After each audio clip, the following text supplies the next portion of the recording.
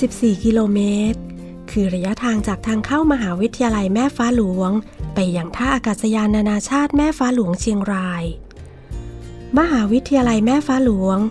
ตั้งอยู่ที่อำเภอเมืองเชียงราย จังหวัดเชียงราย ทางเข้ามหาวิทยาลัยอยู่ติดกับถนนพหลโยธิน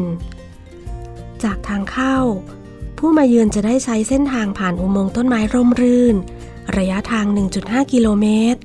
จนเข้าไปพบกับมหาวิทยาลัยที่เป็นพื้นที่สีเขียวขนาดใหญ่ มีอาณาบริเวณกว่า 5,000 ไร่ มหาวิทยาลัยมีความมุ่งมั่นตั้งใจแต่เริ่มแรก ในการออกแบบและรังสรรค์ให้เมืองมหาวิทยาลัยแห่งนี้ เป็น University in the Park เพื่อให้มีบรรยากาศเหมาะสมแก่การเรียนรู้ และใช้ชีวิตอย่างมีความสุข